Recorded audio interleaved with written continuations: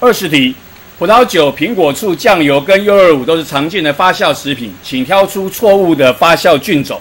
那我们看到 A 乳酸菌来发酵成优酪乳，这是对的；而 B 醋酸菌来酿造发酵成醋酸，苹果醋也是对的。然后选项 C 用曲菌来酿酱油也是对的，所以答案只有选项猪是错的。利用葡萄球菌酿造葡萄酒是错的。